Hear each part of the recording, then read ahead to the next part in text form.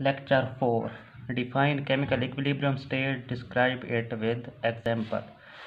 Chemical equilibrium state को describe करें और इसकी मिसाल भी दें.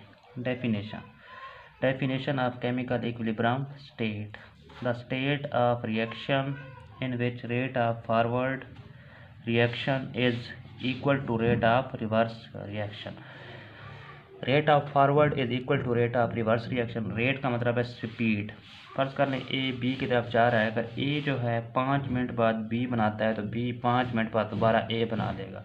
फॉरवर्ड और रिवर्स का रेट क्या है? बराबर है।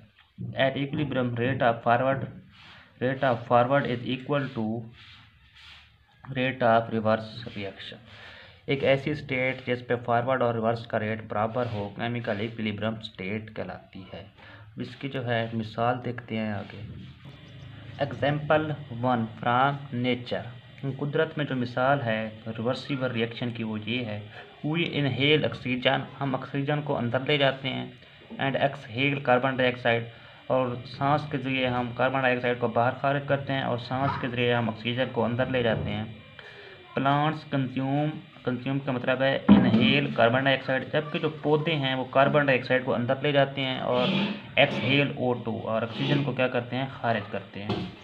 हम क्या करते हैं? वी इनहेल ऑक्सीजन हम ऑक्सीजन को अंदर ले जाते हैं और कार्बन डाइऑक्साइड को खारिज करते हैं। जबकि पौधे क्या करते हैं?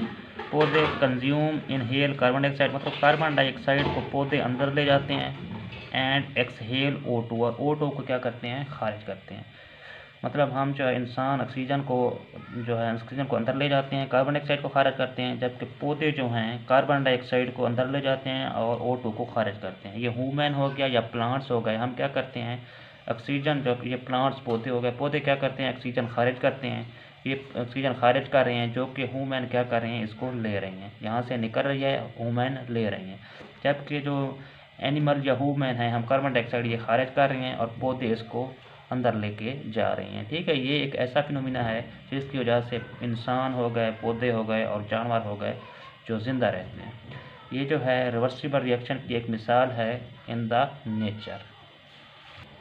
Example two calcium carbonate C A C O three जब हम कैल्शियम कार्बोनेट को एक खुले बर्तन में लेंगे in open flask open flask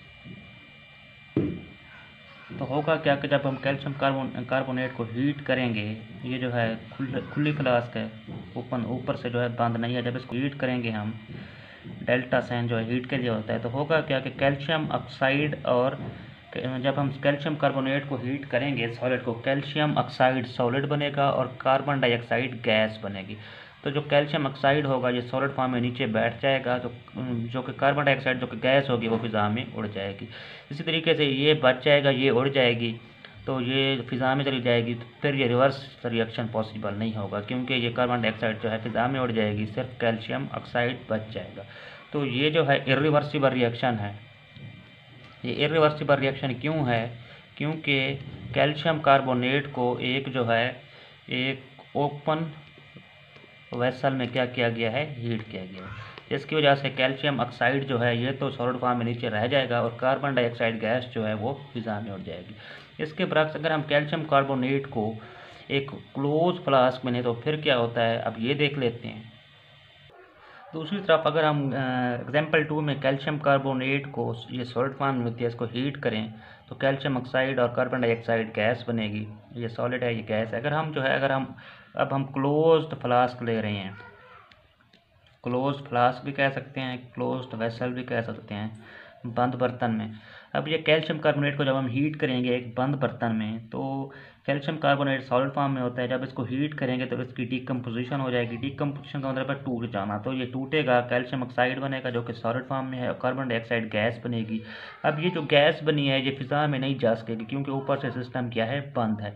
तो दोबारा कैल्शियम कैल्शियम, ये जो है कैल्शियम ऑक्साइड और कार्बन डाइऑक्साइड गैस ये दोबारा आपस में रिएक्ट करके कैल्शियम कार्बोनेट बना सकते हैं। तो ये जो है एक रिवर्सिबल रिएक्शन इसमें हो जाएगा। तो एक आ जाएगी। एक में क्या होगा कि रेट ऑफ़ फॉरवर्ड और रेट ऑफ़ रिवर्स इक्वल हो जाएगा। एट सेम कंडीशन हम सेम रखेंगे। मतलब जो इस टेम्परेचर इस रिएक्शन के लिए रखेंगे, वो चेंज नहीं करेंगे जो प्रेशर और जो टेम्परेचर होगा वो फिक्स रखेंगे, और ये जो है इक्विलिब्रियम आ जाएगी फिर rate of forward rate of reverse के इक्वल हो जाएगा। इसी तरीके से ये तब पॉसिबल होगा जब हम एक क्लोज फ्लास्क लेंगे, ताकि ये जो कार्बन डाइऑक्साइड गैस है जो फिज़ा में ना जा सके, ये दोबारा जो सॉलिड कैल्शियम ऑक्साइड है, उसके साथ रिएक्ट करके दोबारा जो है रिवर्स रिएक्शन दे सके। ये हो गया रिवर्स रिएक्शन और फॉरवर्ड रिएक्शन कैल्शियम कार्बोनेट के केस में। इसी तरीके से जो है मज़ीद लेक्चर देखने के लिए हमारा चैनल सब्सक्राइब करें और ये जो है वीडियो शेयर करें। टेक केयर, अल्लाह हाफिज़।